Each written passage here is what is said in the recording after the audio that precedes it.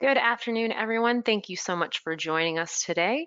My name is Katie Poser. I am the Outreach Librarian with the NOAA Central Library. We are very excited to host the next install installment of the Fireside Chat series.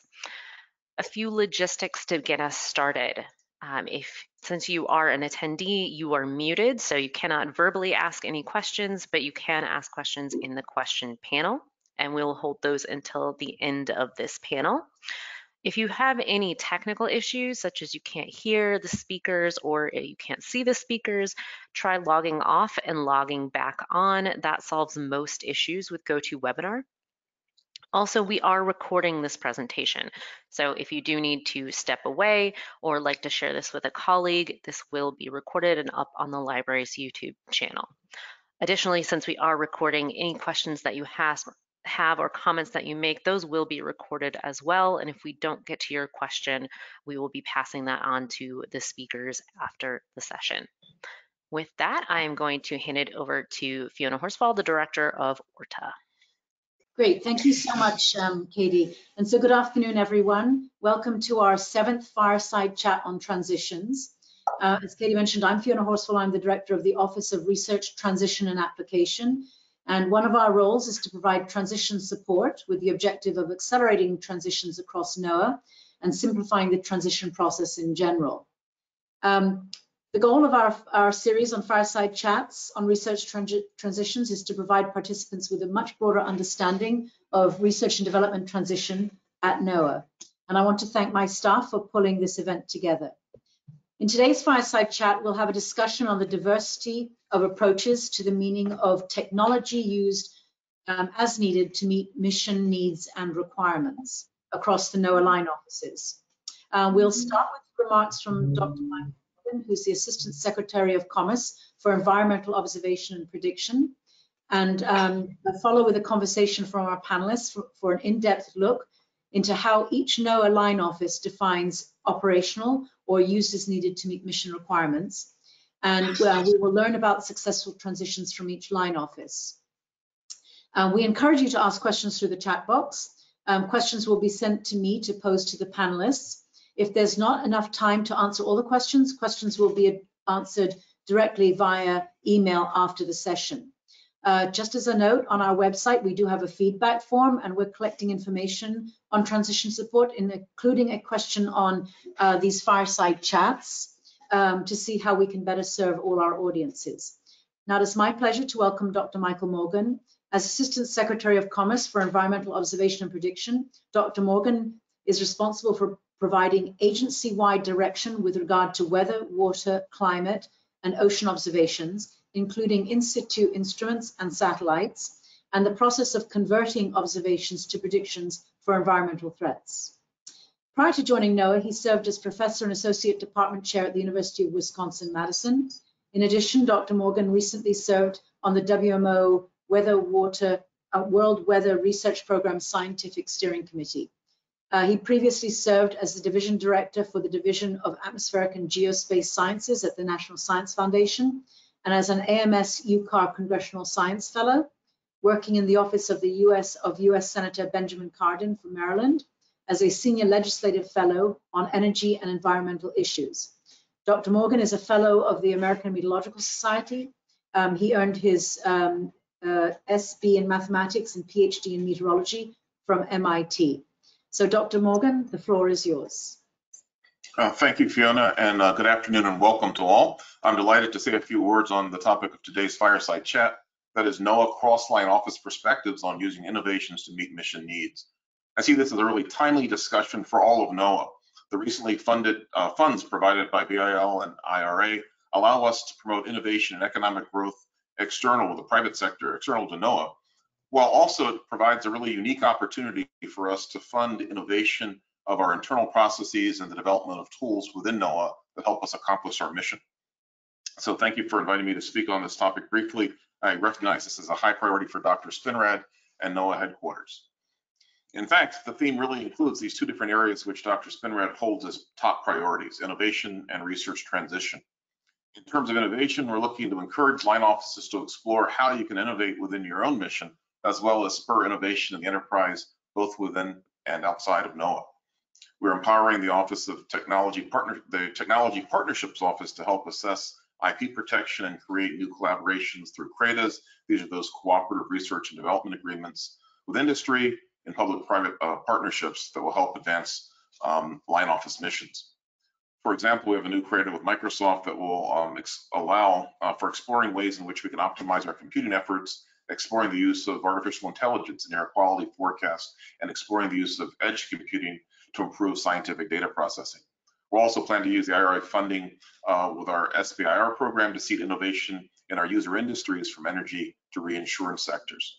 The FY23 SBIR call uh, calls for proposals that feature the six um, Earth System Integration Board themes as topic areas, extreme events and cascading hazards, coastal resilience, the changing ocean, uh, effects of space weather, and monitoring um, and modeling the climate, uh, climate change mitig uh, mitigation. For this call, we received 506 letters of intent across the six areas uh, from over 350 businesses. SBIR funding is a key tool for de-risking early stage technology and fostering, fostering commercial capabilities the, the whole, across the whole of NOAA mission. Please note, again, that we have this rare opportunity to leverage these IRA funds for exploring and ultimately exploiting new technologies to foster innovation across all line offices across NOAA.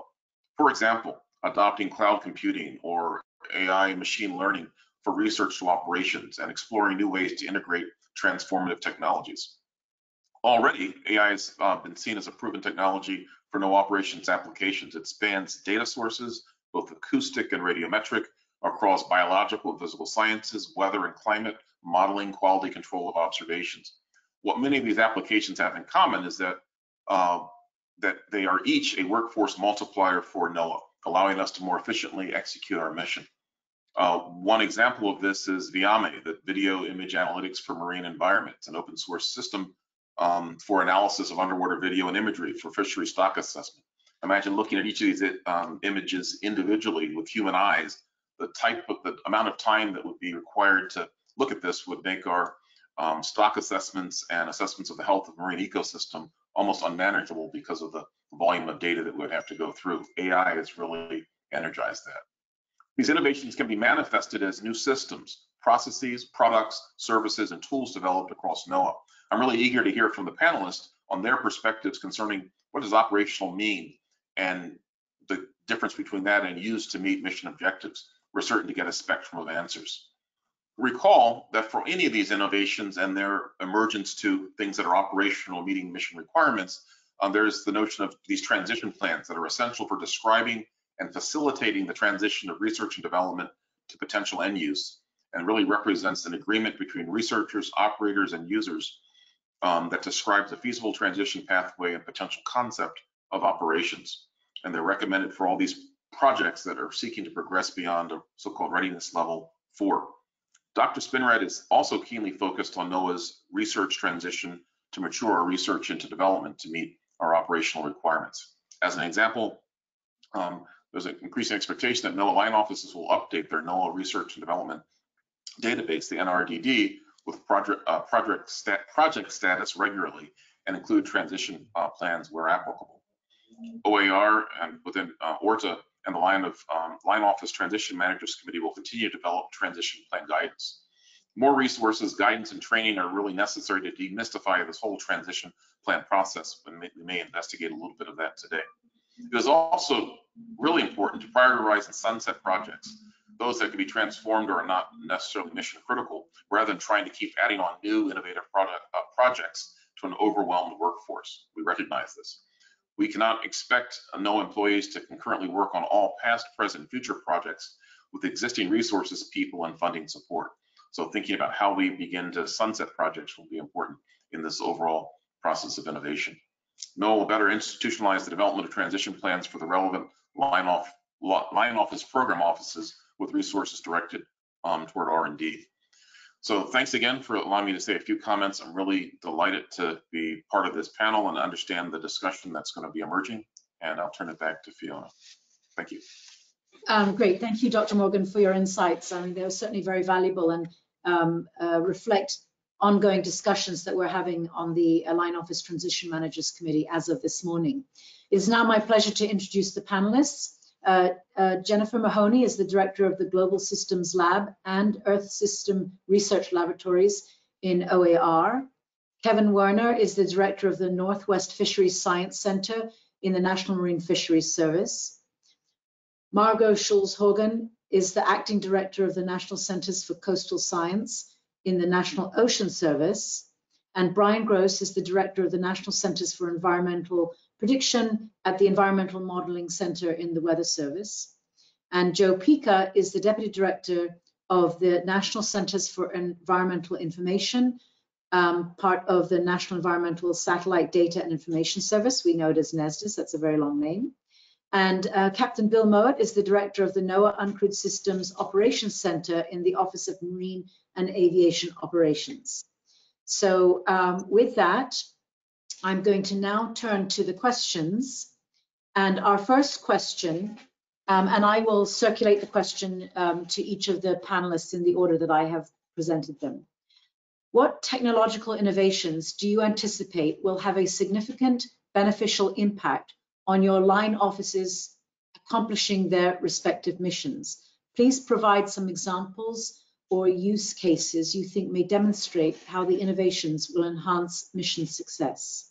So I'm going to hand it to Jen. All right, good morning, everyone, or afternoon, I guess, depending on your, your location. Thank you, Fiona. Well, that's a great question. Um, as a director of the Global Systems Laboratory, we're really, our mission is to develop forecasts and tools and technologies that deliver solutions. So in that context, um, moving our technologies to operations is extremely important, and we've done that for many, many years. Two of the specific areas we work in uh, are our model development as well as our um, forecast tools that actually find their way onto the forecaster's desk at the National Weather Service. So we work a lot with our partners. Uh, I have several of my partners on the line today, uh, Brian being one of our, our main partners, as well as Joe, uh, working to develop our uh, models as an example, really using innovative technologies, new ways of putting models together and um, delivering those through um, what we're going to call the unified forecast system to the National Weather Service. So to answer your question specifically, a couple new things that GSL is working on are um, our high resolution models, again, putting that through this UFS process that is a new community-based activity for developing those models uh, and working with Weather Service to get them into operations, as well as the next generation of our AWIPS type technology, and that is hazard services. Hazard services is going to be a new way for the forecasters at the desk to put together forecasts that are targeted uh, with specific applications and um, emergency information that will be delivered to the public. So we're working right now one thing I do want to say is our partnerships are so extremely important and we cannot do it without a very close relationship with those that are going to receive our technologies as we're developing those innovations. So thank you very much. Thank you, and I'll um, thank you for that information. I'll turn it over to Kevin. Thanks, Fiona. Thanks for the invitation to be here. Good morning and good afternoon, everyone. Um, this is such an important and big question, so I'll try to keep my remarks brief here. Um, for NOAA National Marine Fisheries Service, um, I guess I should say just a little bit about what our mission is. Um, our mission focuses on the science and management to support the nation's federally managed fisheries under the Magnuson-Stevens Act. Um, that's one component of the mission. The second component is sort of conservation and protection of resources under the Endangered Species Act, Marine Mammal Protection Act. So these are obviously marine mammals, but also other listed species in the Northwest. This is this includes um, well in the West Coast. This includes 28 different salmon species. Um, and then aquaculture is another major component of our mission space, and this is really supporting the development of the, the nation's aquaculture industry. So how do we do that? What are the what are the what are the techno technological innovations to answer the, the question? Um, they run uh, there's a there's a wide range of these. I'm just I'm just going to give a few and, and, highlight some examples, um, and I don't mean to um, suggest that these are the only ones. Um, so first, I'm going to I'm going to talk about genetics, genomics. Um, this is a, a strength of, of, the Northwest Fisheries Science Center. Um, we have a long-standing genetics program that, that's historically looked and currently looks at genetically identification of, of different species that go in the Endangered Species Act. More recently, we've been investing in environmental DNA. So this is a, a way of looking at water samples and, and looking at the DNA um, of, of samples within that water sample so you can tell what critters have essentially gone through the water recently. Um, and this is something we've been testing for several years now. Um, and it's, it's a, it's, this is something that's in the larger field as well.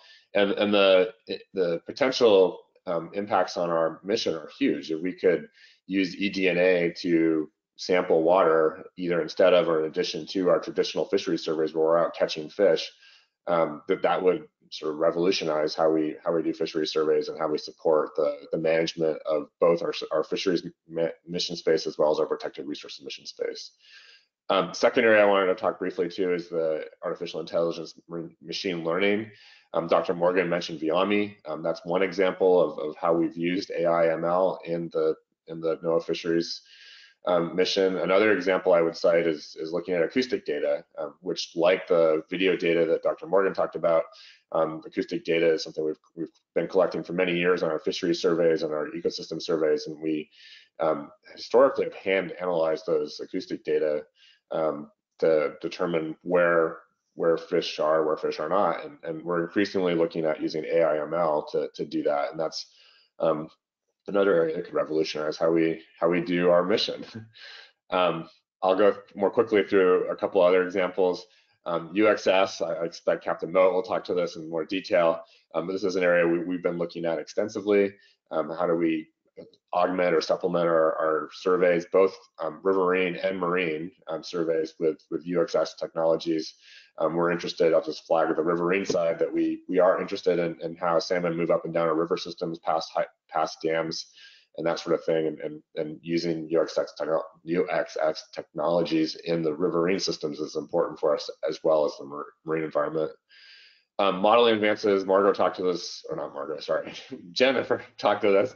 Uh, we also do modeling. Um, we do stock assessment modeling, we do ecosystem modeling, um, and, and, we're continually advancing those those modeling approaches, much as the, the weather climate side of the agency are as well. Um, and there's more. And I'm going to just wrap up with two quick other things. Data, data is super important to us. We're investing in OpenScapes, we're investing in open science, we're investing in data access um, as, as, we collect more and more data through these advanced technologies, um, we need to be able to analyze and, and, and serve that data. And then the last thing I want to call out um, is social science and the people. And understanding how people work throughout this enterprise is, is super important for us. Um, both people outside our science enterprise, but also ourselves, and understanding how how science is is how science works, how it's changing. Um, that's an important area of investment for us as well. And I'm going to stop there. Thanks, Kevin. That was an awful lot, but thank you. Um, Margo, I'll hand it to you now. All right, great. Uh, thank you also for the invitation. I think it's a very timely topic. I appreciate the opportunity to speak to the National Ocean Services uh, skills here. Uh, just to set the stage a bit, uh, NOS has a very broad mission across its eight program offices. Unlike some of the other line offices, all of our program offices are national in scope as opposed to regional. Uh, so that makes us a little bit different. Uh, and the range and, and, mission of the eight program offices is quite varied. Um, to name just a few, uh, the National Geodetic Survey measures gravity and maintains the National Spatial Reference System upon which all GIS measurements are based. Uh, the Office for Coast Survey conducts extensive hydrographic uh, mapping and cares and, and produces the nautical charts that you know we all know and love. Um, the Office of National Marine Sanctuaries and Office for Coastal Management help conserve and, and manage the ocean and coast special places. Uh, and that, that's just a few. Uh, and so the, the technological innovations across NOS are, are similarly broad and, and diverse. And I'm just going to name a few here as well. Um, some of the more exciting ones to me are like the use of uncrewed platforms to respond to oil spills in ice environments. Uh, this will allow us to determine the presence of oil and its thickness in waters both above and below the ice to support trajectory modeling, cleanup, and assessment of marine resources uh, in the Arctic. As the human footprint in the Arctic expands, our ability to assess and track oil is going to be ever more critical. And that's one of the prime missions of our Office of Response and Restoration.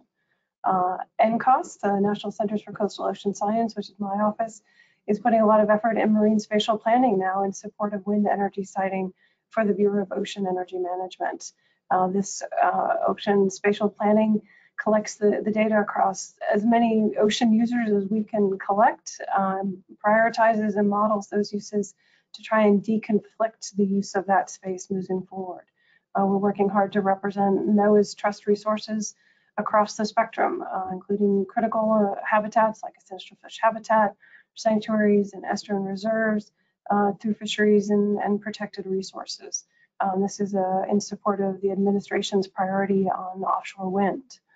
Um, the National Geodetic Survey's GEOID 2022 uh, is a geopotential model using gravity data that enables users to measure land elevations and water depths, including tidal water level heights that are crucial for marine navigation and coastal zone management. Uh, NCOS is also working with NESDIS, a partner, uh, to improve satellite data algorithms to help monitor harmful algal blooms so that state and federal partners can mitigate those impacts on recreation and drinking water supply and, and seafood harvests. Most recently, we're expanding monitoring to Lake Okeechobee in Florida, where the discharges have been a major issue for, for our state and federal partners there. Uh, and I'll conclude with another example that's multiple offices within NOS. We're contributing to a 40-year reanalysis of coastal flood frequency, which will build a, a national assessment tool for contemporary and future coastal flooding in support of climate-ready coasts and resilient communities I'll turn it back to you. Great. Um, thank you. Thank you, Margo. Um, I'm going to pass it now to Brian, and I just want to say that, um, you know, part of the big question and what we've heard so far is that the Weather Service has always had the mantra on time, in real time, all the time. And um, that's very different to what we've heard from the other lines. So, um, Brian, that's probably a heavy thing to put on you, but I'm going to pass it to you now. Oh, thank you. Um, I was just going to ask the other line officers why they don't have a similar statement like that, but that's okay. so uh, I'm Brian Gross. Uh, I am with the Environmental Modeling Center, which is one of the national centers for environmental prediction in the Weather Service. Uh, and so my background is in modeling, and I will speak mostly to modeling. But of course, the Weather Service, as Fiona just said, has a much broader mission than that. Uh, it spans the value chain of, of observations, ingesting those observations for use in predictions, building modeling systems for those predictions, developing products, and then communicating weather-related information to our stakeholders. Um, that entire chain is in the scope of the Weather Service, but I'm going to stick with the, the modeling side of things. So um, we consider innovations in numerical weather prediction, or, or NWP, uh, in a number of different areas. First and foremost is something that Jen touched upon, um, and this is how we understand the way that the Earth system works. Uh, it used to be just the way the, the atmosphere works, but we're moving beyond just the atmosphere into Earth system thinking. And so understanding how all of the Earth system, Earth components are interconnected and expressing that understanding in numerical models is really our, our bread and butter. And EMC in particular uh, is the penultimate stop uh, before operations, where we harden the models for operations. Uh, we make sure all of the technology uh, and IT requirements are being met in order to provide the numerical guidance on time, all the time, every time. Um, and so that's a uh, that that's an important function, but we cannot do it without our other partners right? The folks that provide those innovations in particular. Um, as we expand into Earth system modeling, um, we, we anticipate having stronger collaborations with NOS for, because we want to be able to for example, sea ice in the Arctic for navigational purposes. We, on, we want to be able to predict uh, the impact of seasonal ocean prediction on fish stock. So we're going to be talking to uh, NMFS. Um, we use a lot of satellite data. And how we use that satellite data is an important collaboration with, uh, with NESDIS. And OMAO provides a lot of uh, in situ observations of burgeoning phenomena, things like atmospheric rivers. We're exploring the use of aircraft observations and enhancing our prediction of atmospheric rivers as well as the operational augmentation of, of uh, observations in, in hurricane prediction uh, by OMAO. And of course, OAR is a key research partner uh, for us. Um, some of the other uh, areas where we look for innovation uh, are computational performance, um, as well uh, because it matters how quickly you can get the modeling systems to completion in operations, uh, and the ingest of new data types in order to improve model initial conditions and provide a different source for ver verifying uh, our model output. So uh, I'm going to go back to, to something Jen was talking about, uh, the unified forecast system.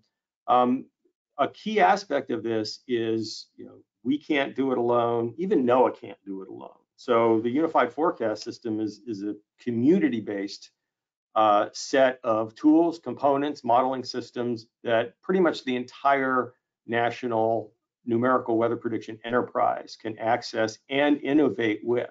So the idea here is we, we get innovations across NOAA. We get innovations from across some other federal agencies. We get innovations from academia, and we may even get innovations from the private sector. It is this entire enterprise that we are looking for to help us innovate and improve the operational numerical weather prediction systems. So that's one area where, where we're looking uh, uh, we're looking to innovation. Uh, another area is uh, uh, another technique that, that you've already heard about uh, across the disciplines, and that is artificial intelligence and machine learning. There are a host of modeling activities where this can provide innovation within the modeling systems. In, in a couple of areas, some of it is just pure computational performance, right? We can accelerate uh, things like physical parameterizations, cloud physics, other atmospheric parameterizations in our models to become more efficient. Uh, we can also uh, become more efficient in how we use observations, uh, areas like specific processing of uh, observing systems like radiosondes, uh, data thinning. There's an awful lot of data that comes from satellites, right? And sometimes it doesn't make a whole lot of sense to ingest all of it. We want to know which ones are most important to the forecast process. So there's another application of, of artificial intelligence um, and machine learning. And then, then, finally, there are other areas in the National Weather Service besides just modeling where, where this innovation is such a, a key piece.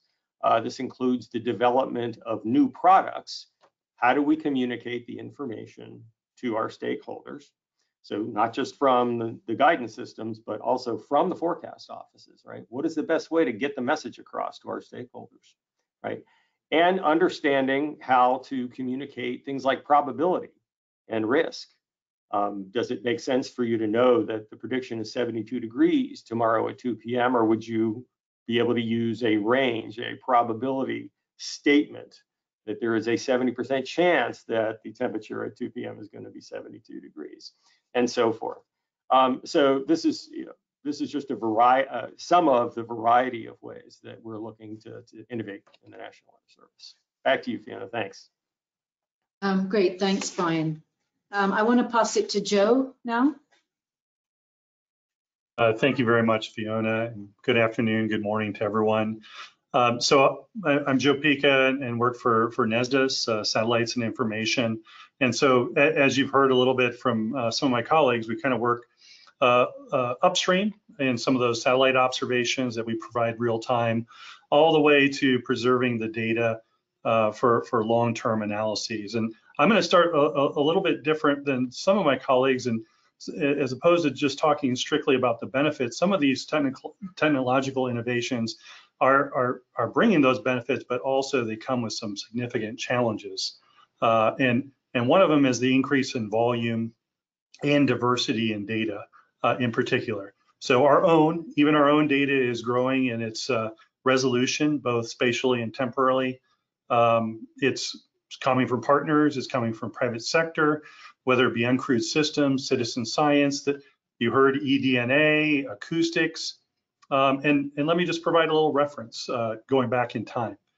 In uh, 2000, the NOAA data archive was half a petabyte. In 2010, it was two petabytes. In 2020, it was 36 petabytes. At the start of 2023, it's 55. And we predict, uh, well, you, you, see where it's going. We predict over 500 petabytes uh, by the end of the decade. So how do we how do we deal with that incredible growth uh, and diversity uh, in data? And, and, some of those tools have been mentioned: uh, the cloud, data science, AI, ML, uh, and, and we're really looking forward to utilizing those. So in NESDIS, we are assembling a common cloud framework to provide us with the infrastructure to scale with that demand. And it's not just demand for storage. Uh, I don't I don't want to just highlight that. It's also being able to uh, take data from multiple sources, blend it, integrate it, uh, so that we have a, a, comprehensive digital understanding of the planet that meets user needs, um, that, that, feeds into the models or that we use. Uh, at NCEI, we also host the NOAA Center for Artificial Intelligence, a community of practice where we share some of these lessons learned uh, that's been talked about by Dr. Morgan, like the, the, the video uh, uh, analysis that we do, that kind of tool. I'm particularly interested in the natural language processing. How do we let AI help us do data stewardship? Uh, you know, preserve that data using some of those tools. I'm also excited about the AI ready standard that we've been developing uh, in the in the community of practice with the Earth Science Information Partners. Uh, it, it's going to be really important as we go forward in this you know large volume of data uh, and information to be able to pull out uh, information. So Brian mentioned uh, the thinning of data so it can be used uh, in the models. But what, how can we do that in a smart way? So not just that it can be used in the models, but it can be combined with social science data, with uh, uh vulnerability infrastructure data that other agencies or other uh, institutions used. Uh, so this this is going to help us going forward. And I just want to I want to highlight an example. I don't I want to focus on the challenge, but one of the benefits of this. And uh, our most recent uh, uh, normals, you know, computation. So every every 10 years, you create precipitation normals, and this this provides all of us a context for your daily weather. Is it are we getting more rain this month than than we have in the last 30 years, etc. And in this last tranche uh, of doing this, we were able to include citizen science, the CoCoRaHS network, as well as the Department of Agriculture SNOTEL sites uh, in that. So 5,400 citizen science observation stations um, were incorporated in those normals. They met the long-term standard in quality, not all of them, uh, but being able to utilize the various sources, not just our own uh, data is one of the innovations that we've been able to bring into our routine production. I'm, I'm not sure I'd call it operations, I would call it routine uh, productions, but then that supports Weather Service observation uh, operations in providing context to the American people.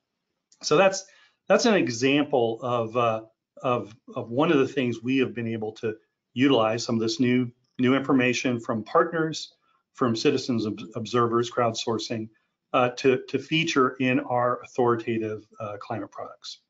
And I'll I'll stop there. I know we uh, have one more colleague to go. Thank you so much, Joe. And I just want to point out that I installed my CoCoRaHS rain gauge um, just last summer and waiting to become part of the network as well. We call us Weather Weenies Anonymous. Okay, I'm going to hand it over to Bill.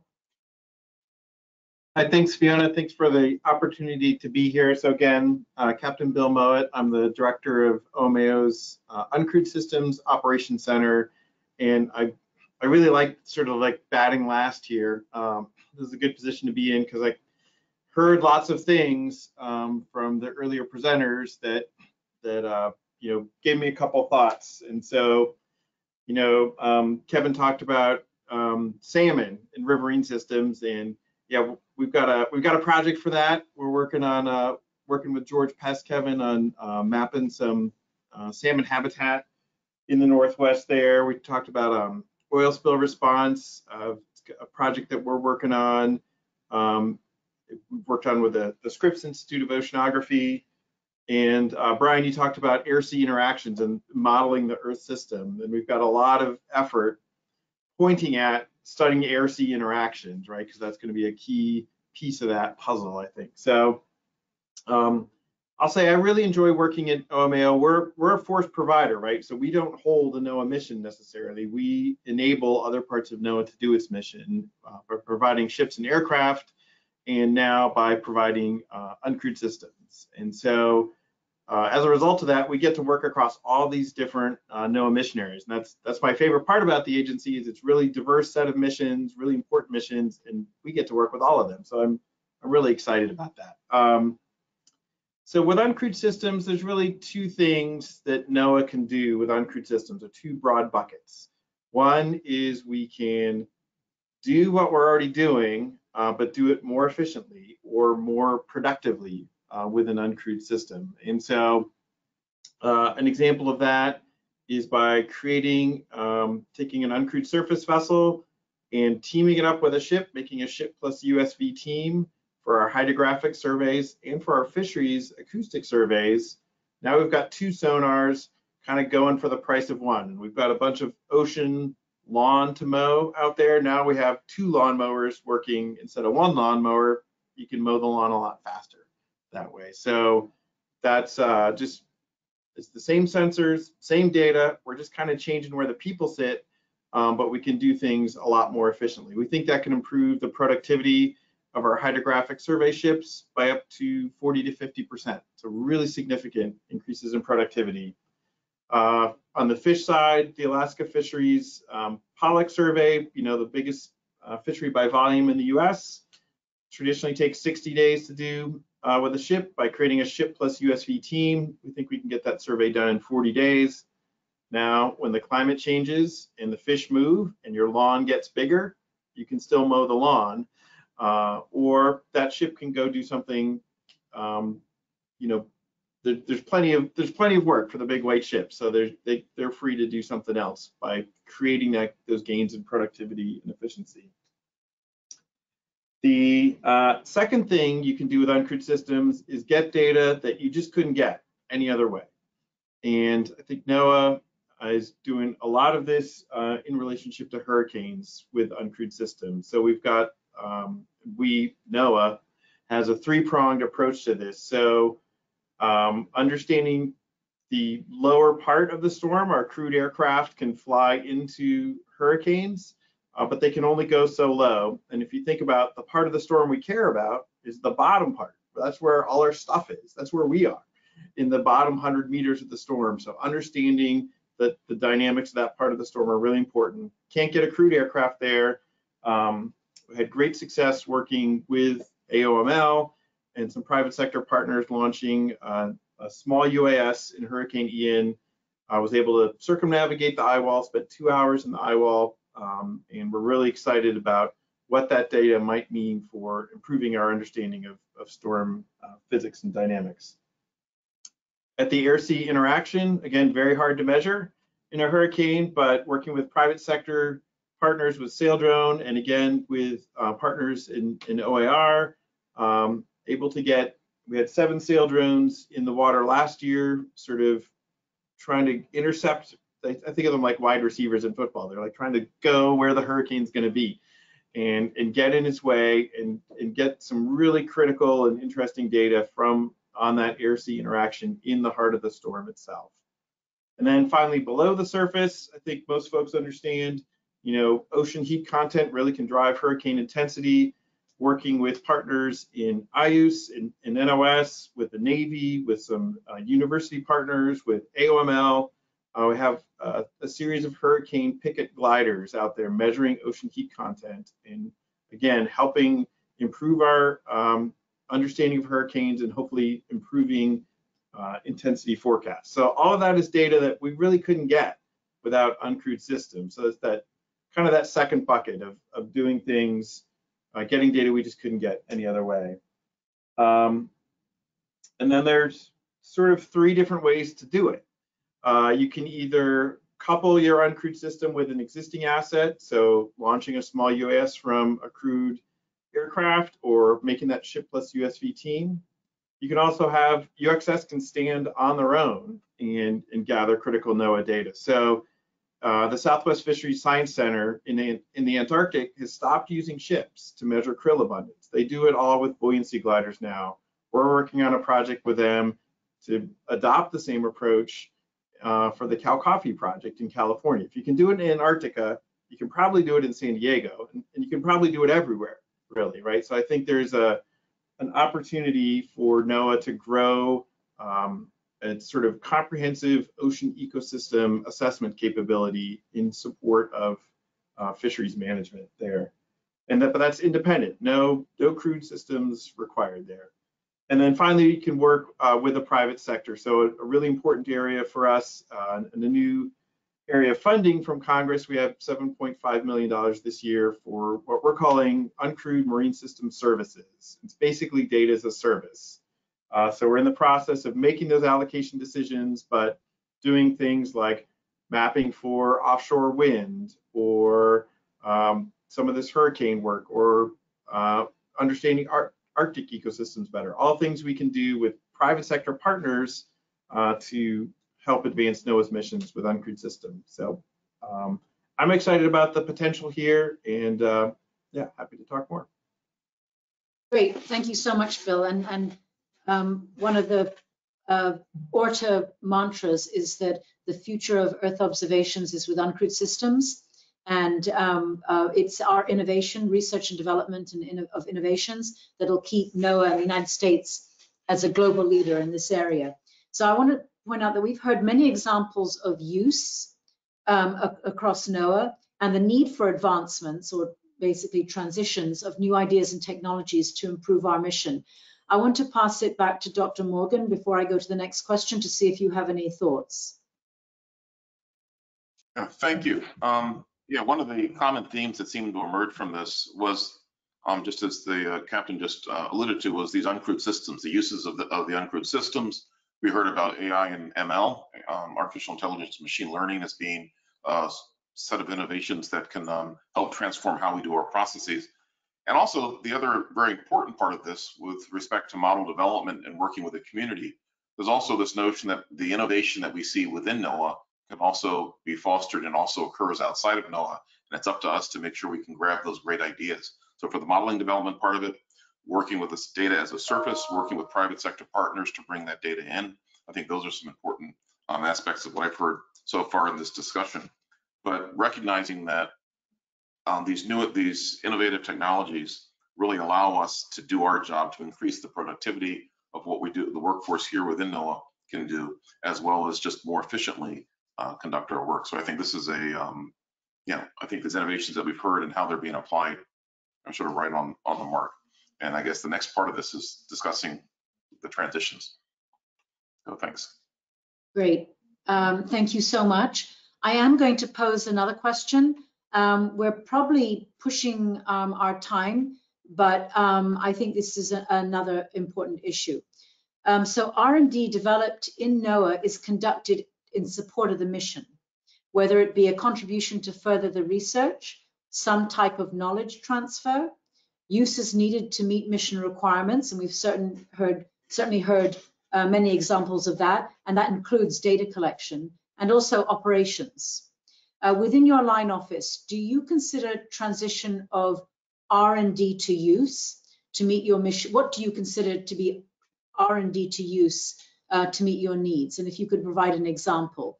So um, we'll probably uh, use less time for each answer so that we can get to some audience questions. Um, again, I'm going to start going around the way I started, and I believe that I started with Jen.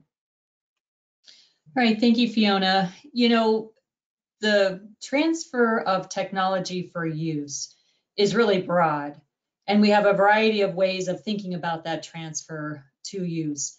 You know, where I where I sit in our laboratory in GSL, our transfer to use is picking up a technology, working with you know our partners, and actually delivering that technology into more of an operational platform.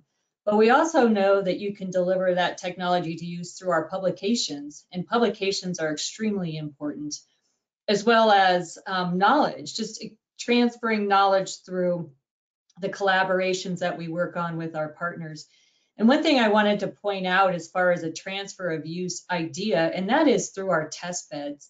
I think it's really important to recognize the importance of the test beds in the transition of our technologies, testing them, bringing the community to the table to talk about the problems that we're working on. Because the delivery of however we deliver this, we need it to be useful for that end user. And the best way to get that is to bring those end users to the table, get their requirements, have them sit down and play with whatever we're working on so that we know when we're ready to deliver this, that has been tested and those users are, are in, you know, have been in the loop. And that's been a key aspect uh, for the success I think that our lab has had in OAR, particularly in getting those technologies used. Great, thank you, Jen. Uh, I'll hand it to Kevin. Thanks, Fiona. Um, and yeah, I agree with Jen. This is a very broad question. Um, I would say for us in NOAA Fisheries, we do much of our own science in the Science Center. So we are, in a lot of cases, our own stakeholder for R&D um, transition. And, an example I cited before in terms of the eDNA or the UXS, um, we're developing technologies to improve the way we do our own surveys and our own stock assessments and our own modeling efforts, right? So um, I, you know, I, would point out that I, I give one other example, and, and, I'll be quick here. I didn't talk about aquaculture before, but we we use the CRADA process through the NOAA Technology Transfer Office um, to partner with with industry and with tribes in the Northwest on aquaculture methodology development. So we've been prototyping for the last decade um, uh, sablefish aquaculture methodologies, and we're working hand in hand with our partners in the private sector and in the tribes to transfer those methodologies that we're developing in terms of physiology and genetics and and and, and process growth for for building that aquaculture species um, into the marketplace and, and that's you know we, we do that through the, again the CRADA process in NOAA um, and I will stop there back to you Fiona Great. Um, thank you, Kevin. That's super interesting that you're working so closely with the tribes on that. And of course, um, uh, TPO, the Technology Partnerships Office, is within ORTA as well. So, um, Margo. Yeah, so um, I think we have a similar broad sort of response. And I think for NOS, R&D to use uh, is really the provision of that quality, reliable product, service, model, or data at the temporal and spatial scale that the user needs. And that's goes from, you know, every beach every day for some have forecasts to once uh, once a year for a, a, report or every five years for a condition assessment for a sanctuary. So it really is very tailored to what the users need, and that is set at the the point where we begin. And so we know, um, you know, what that that scope of work is and what the the transition will be. Um, specific, specific transitions run the gamut from transition to operations, uh, including you know, advanced modeling capabilities, ocean observing platforms uh, for navigation or coastal hazards, harmful algal blooms, uh, hypoxic events. And again, the, the tempo of that delivery is, is dependent on what the user needs are. Um, and we also have researched applications, so development of models or habitat characterizations in support of um, marine protected area designations, uh, the delivery of siting tools for offshore wind planning, uh, or to drive resilience through platforms like, like Digital Coast. Um, we also have some research to commercialization, um, similar using some of our labs for testing technology um, in an experimental or demonstration environment. Example of that would be our harmful algal bloom uh, control technologies in our Hollings Marine Lab. Uh, that's also through a, a CRADA as well. Uh, unless we have uh, the information transfer, uh, knowledge transfer through understanding and development of best practices, with a recent example being the engineering with nature atlases in partnership with our other federal partners. Um, transitions similar to what Kevin said, we're often our own customer.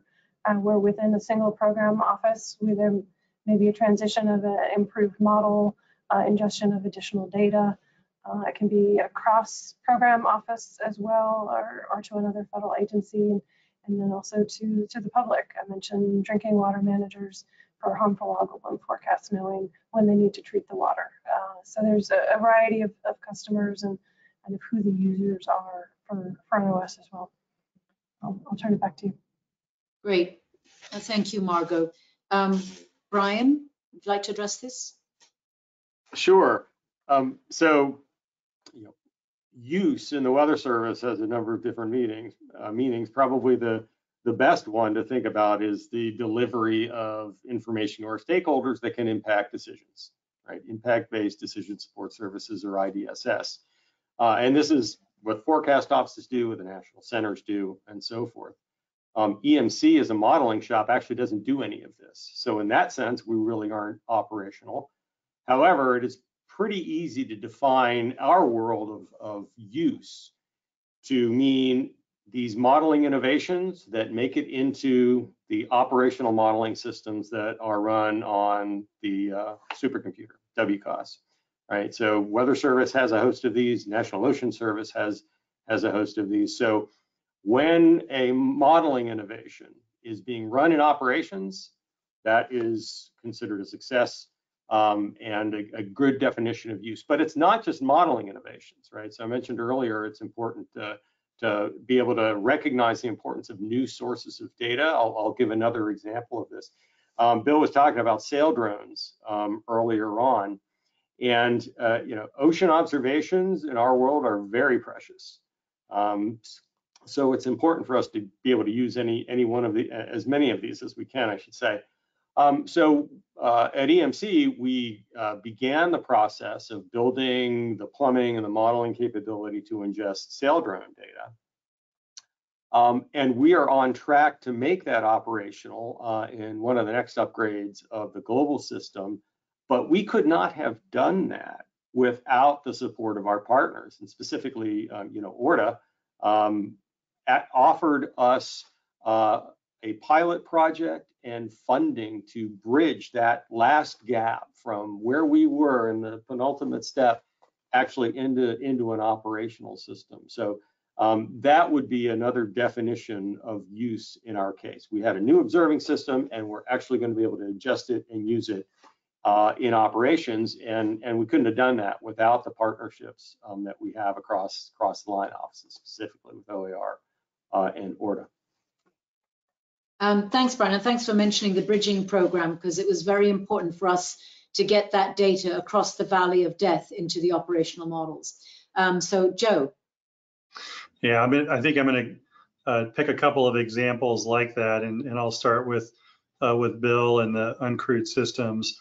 One of the the things we do is work with partners, so cooperative institutes, uh, academia, to uh, uh, bring that across. And right now, we do have a a partnership with the University of Southern Mississippi uh, for uh, building a UXS data assembly hub. So that's that's one example, and and it takes close coordination and oversight to make sure that it's going to fit into that NESDIS Common Cloud framework that I that I mentioned, so that it can be incorporated with the rest of the data.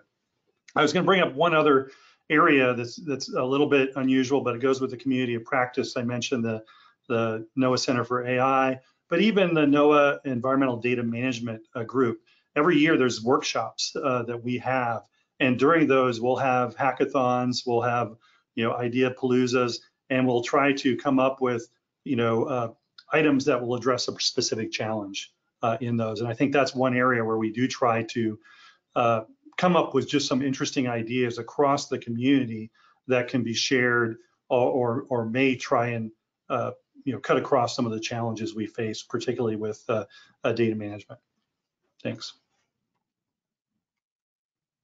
Great, thanks, Joe. I'm going to pass it to Bill. Yeah, thanks. Um, I guess a, a couple thoughts in this, and you know, been a couple mentions of like the valley of death or or the the difficulties of the last stages of of transition, and that's something that yeah that I've definitely seen in my time working in the in the uncrewed systems world. Um, so it, you know, it's something that we're focused on here at, at OMAO. Uh, last year we were a $14 million office and about $11 million of that went into transition projects. So trying to take things that are in sort of like late stages of, of demonstrations. You know, we've demonstrated sort of a product market fit. We think it's going to, you know, this is going to work, but like it's all these data assimilation and, and really challenging things related to operate uh, operationalizing things that, that we're focused on. So, um, you know, one area that I repeatedly see a challenge, I think, with NOAA is in the demonstration of value phase. So we can show that, you know, the robots can go out, they can they can gather the data, it looks good, okay, this looks like it's going to work, but now it's got to compete you know, with every other NOAA priority out there for for funding um, to to make it happen. And so finding um, the resources to to to make those demonstrations of value. And in cases where it's something like the Shift Plus USV team, same sensor, same data, it's, it, it's like a business case thing. It, it's not that hard. In other cases where it's new data that we haven't been able to get before, all this hurricane stuff, you know, we have to do data impact analysis and OSSEs and really understand, you know, is and how much is this driving forecast improvement and is the expenditure to go get this new data, you know, worth it for those forecast improvements? And that's like, that's a hard part to fund is that last little piece. Everyone wants to make the robots go. Um, it's harder to get funding for the science that, that needs to happen to assimilate the data and, and understand it. So, um, you know, we're working on an RFP this year in conjunction with um, the UXS Research Transition Office. It's a partnership between our two offices. It covers the full spectrum of research, development, testing, evaluation, transition. And we do have a piece set aside of that RFP for this demonstration of value work. So not making robots go, but doing the science to show the value, to develop pull for these systems. We've got a lot of people pushing on this rope. We need need some help developing some pull on this rope. So, and we do that through things like OSSEs and, and data impact analyses. So I see that as, as sort of a key missing piece right now. And, and, you know, we're working in partnership with OAR to address it. Um, great, thanks, Bill, for mentioning that. Yes, that's very exciting about the, the joint RFP that we're working, ORTA's Uncrewed Systems Research Transition Office is working with your office. We really do want to see innovations there.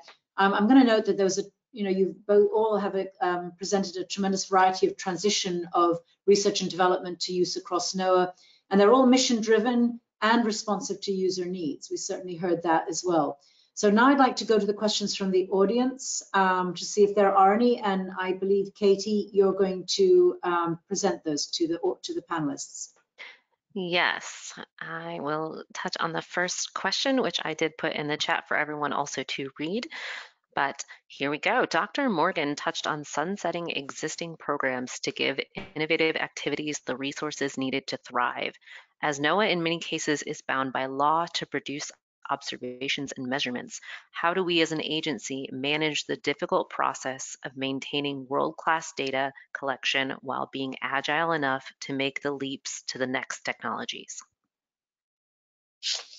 Thanks for that question. Um, and I just begin with, of course, we can't ignore existing statutes. So unless we can, um, so we have to continue along with what we've been doing with respect to particular data collections and particular observation sets. But I say that unless we can, um, it's only unless we can successfully argue that a, a new um, observational record or model, so you can look at observations, look at models can be supplanted by a more capable technology. And so to be able to, to um, make progress in being agile enough to move forward to new technologies, I think really going back to some of the comments I made at the very beginning, um, is really taking advantage now of the new resources we have to begin exploring these addition, these other options for data collection. So careful characterization of our current data, and we've already done that because most of that data gets used and assimilated into models, knowing the error characteristics, including the biases, really characterizing the old data sets, the new data sets, looking at the relationship between them. Um, in some of these cases, we may be able to argue this is a much more, um, uh, this is a data type that can be, uh, can supplant something that we've already been doing. But we can't obviously ignore existing law statutes that say that we must provide this particular type of data. But we have to really be clear, is it really our, our wish to continue doing things the same way we've been doing them, or is it really a legal requirement that prevents us from doing that? But again, taking advantage of the new funds that we have to explore more innovative ways of doing what we do, observation types as an example, modeling as an example, um, and running those models as an example, I think can allow us to leap forward um, with these new technologies and make them part of our new uh, workflow. Hope Thank that you, addressed the question. Yes, thank you, Dr. Morgan. Uh, does anyone else want to touch on this question before we move on? Okay, uh, let's go with Brian and then uh, Jennifer.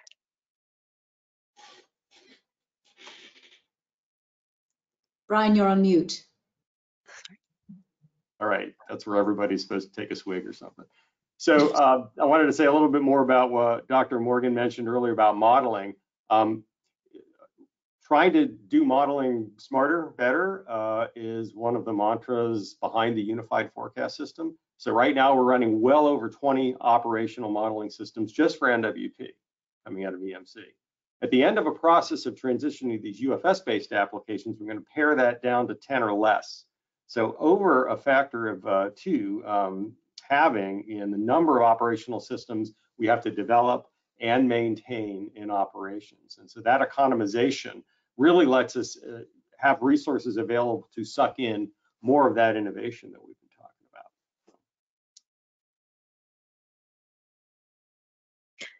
Jennifer? Sure, thank you. So I just wanted to kind of look at that last half. So we have a brand new model, for example, and we want to deliver it to operations. Really understanding the quality of that model from a couple perspectives, I think is important. And this comes to, you know, our, our verification techniques and our testing, but it's understanding, okay, does a new product actually outperform the other product, not just in a particular skill score, but in the information that it's providing to the end user? Are we is this model actually producing you know better lead times um, we understand start and stop times better and so really analyzing that piece of information uh, is a, a very important part of making the decision for what we can replace and move new things into operations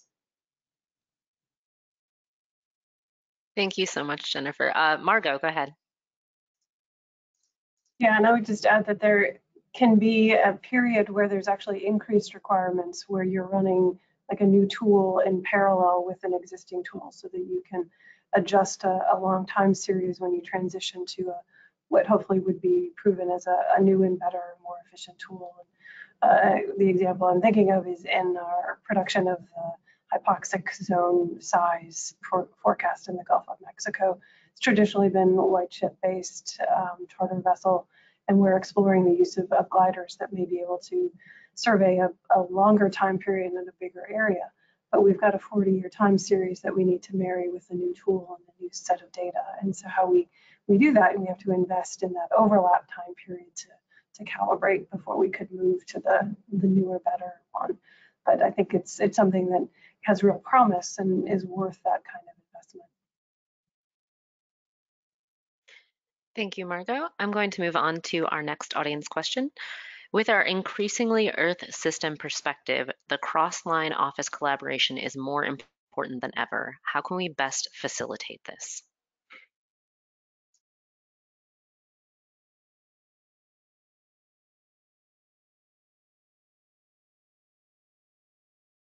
Go ahead, Jennifer. I'll take a stab at the question because I think it's so important. And I want to use uh, some of the work we're doing in fire as an example. You know, when you think about the roles of the line offices in producing our products, developing the techniques, delivering those to operations, you you can get an idea of how the different line offices fit together to make a full story for NOAA.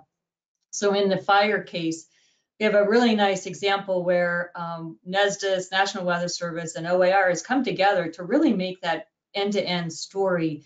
You know, we get satellite data and new products from NESDIS that comes into our research models. We, you know, integrate those new research models and we do it in the context of what operations needs to meet the needs at a fire line. And I think if we keep in mind kind of those roles, it it provides a natural way for us to come together and work together on a particular topic using fire as an example that can really then facilitate the communication and how we bring our tools to the table. And then it, it all you know it just sort of magically know and i hate to say magic because it's not always that easy but you can bring what we do best to the table and start having those discussions. And we've been very successful in developing kind of that broader picture so that we all have space and collaboration and know what our end goal is in delivering that. So I would, you know, maybe starting with a topic, which then brings the, the best of all of what we do to the table.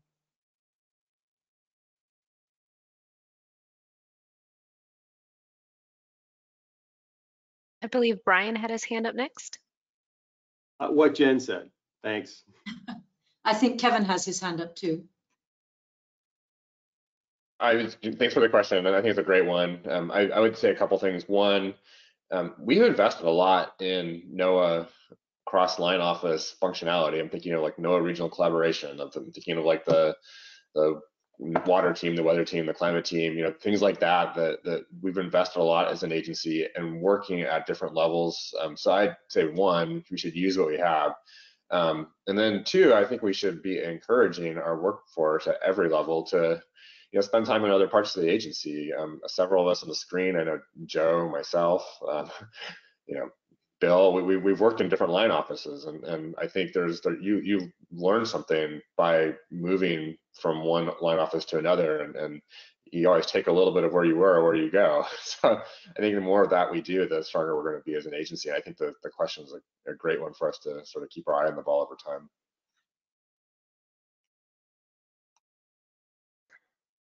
Any last uh, answers for that question? Okay, we'll move on. I have a question here for Joe Pica. Let me pull that up. So is NCEI doing workshops, tutorials, or hack weeks for the science community? NASA's um, communities has been doing a lot of this for conferences and hosted community cloud data, cloud data hack weeks, but I haven't mm-hmm. seen anything like that from NCEI. NCEI. Are there any plans or interest in that? Yeah, thanks for the question. I, I alluded to it in my my last answer, but I'll, I'll, I'll you know, expand on it a little bit.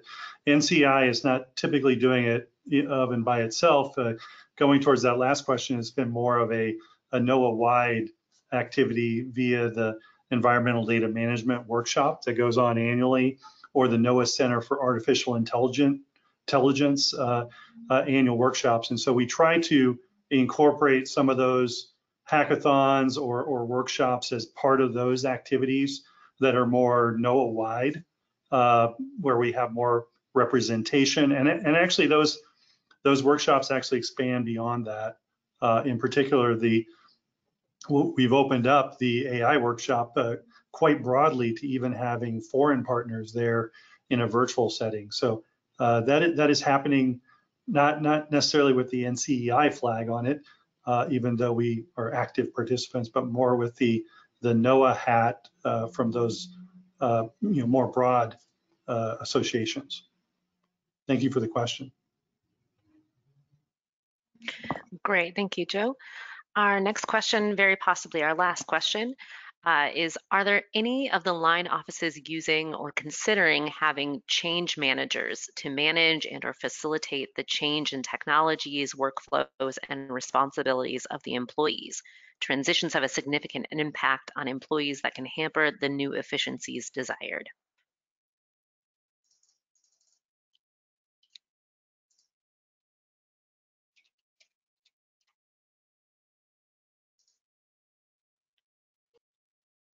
I'll, jump in first and just say that we, we, you know, as, as SES, we all have change management as the, the first uh, activity in our performance plans.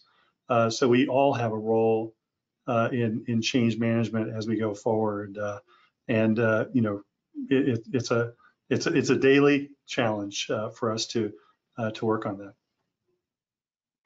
Kevin?